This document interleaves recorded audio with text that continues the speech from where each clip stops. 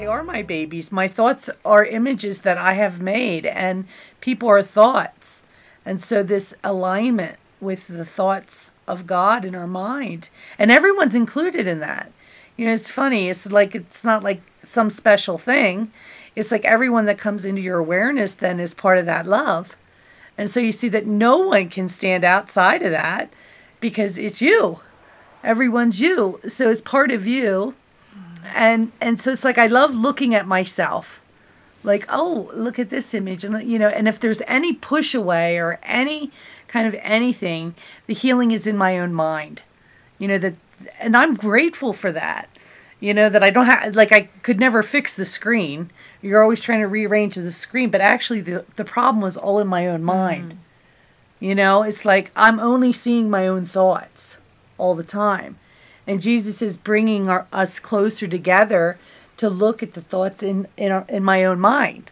So it's like this continual keeping that completely clear and wide open and empty and that I'm responsible to do the work. No one's going to do it for me. I say that all the time. You know, we can point, but no one's going to do that for me. And the, I just love, I just am so grateful. I feel like every prayer is answered. And um, yeah, just this full appreciation because it's, and so you're going to have to look at some stuff that you don't want to see. you know, don't show me that. But no, it's like this openness and trust that because of our heart's desire to to wake up to we, who we are to this love, everything that isn't that is going to come up.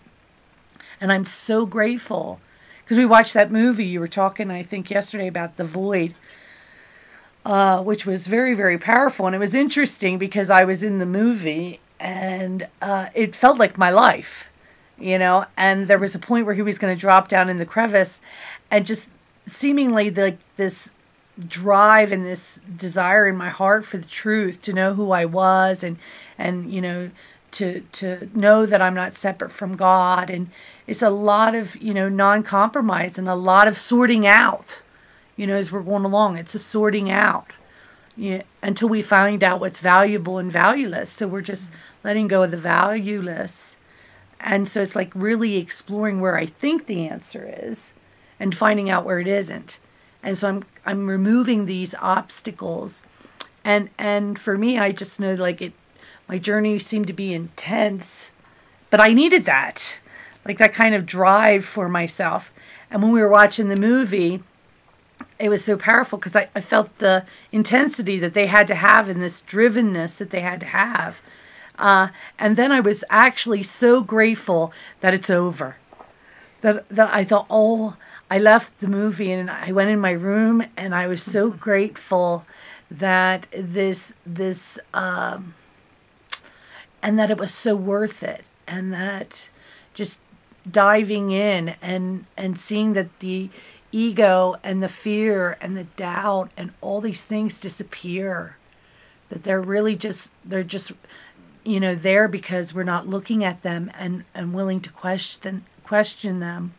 And this unbelievable gift of this experience of a state of mind that it, Jesus promises us through a course of miracles you know that that that it's not only possible it's inevitable and that this state of mind this changeless reality is all of our birthright and that you know and and I just feel so honored and so blessed that you know it was all I had to see it all you know, had to look at it all and and make that decision over and over and over and over again until there are no more decisions. We were talking about that yesterday.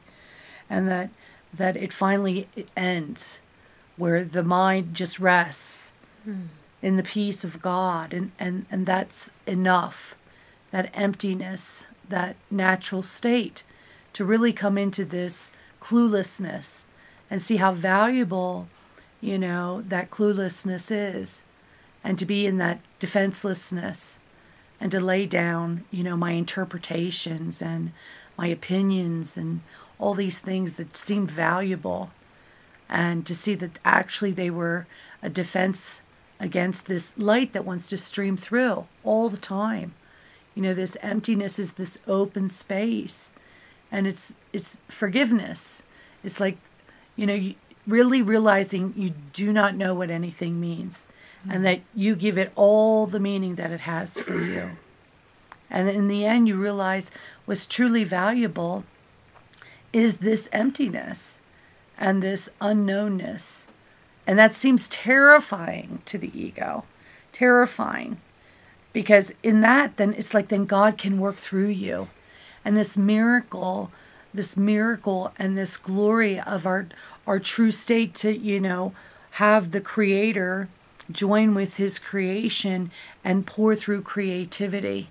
It's like creativity being a vessel for this love and this joy and this peace, and to know that I'm truly just this extension of this love and this joy to be open to, to giving, to giving it all away.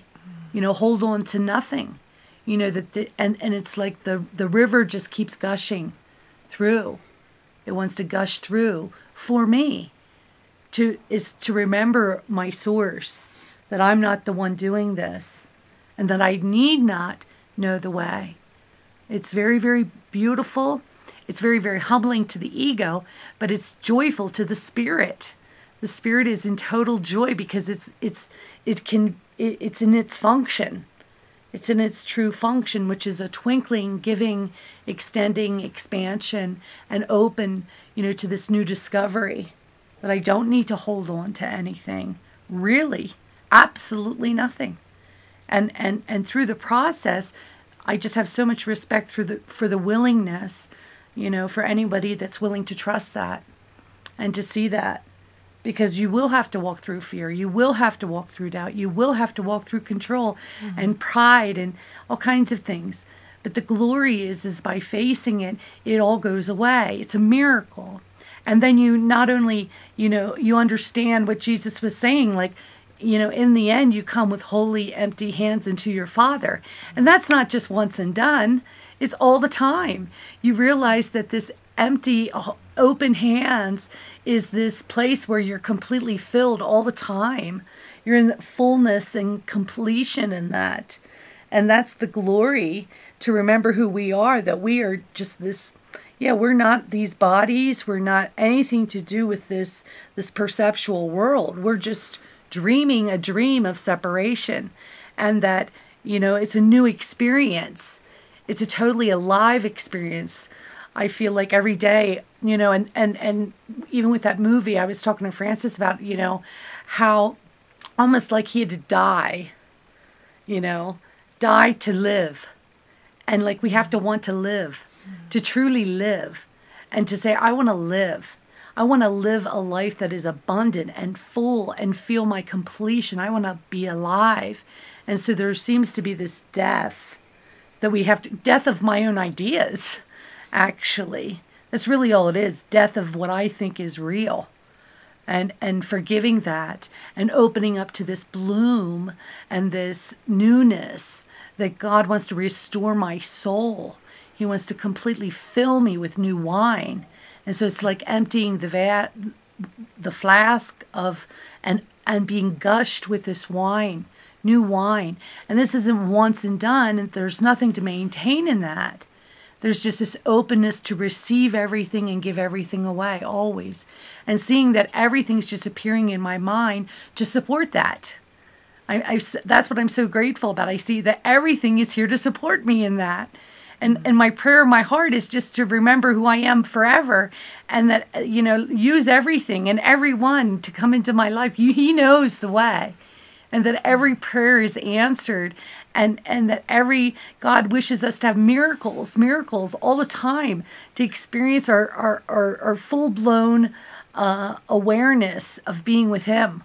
To know that we're with Him, that is so fresh and new and vibrant, and it's full of surprises. There's there's nothing old in this. It's all new in this because it's like opening up to a brand new day you know, waking up and hearing the birds tweet and, and, and expecting miracles and, and knowing that, that, you know, being in our function in the end is just extending love. You know, really, that's all that our every one of us. You know, forgiveness is my function, but he, it's a, it's just a temporary stepping stone for us to open up to, to be used but not because I have to save anybody. There's nobody to save. I was the one that needed saved, you know, from remember, you know, to help me remember who I was. And this great joy that just seems to just continually be restored, continually opening. And, and, and, yeah, I'm so excited about it. I'm really excited about it because I'm excited because I guess I want to, I just want to tell everyone how, you know, how it's worth everything.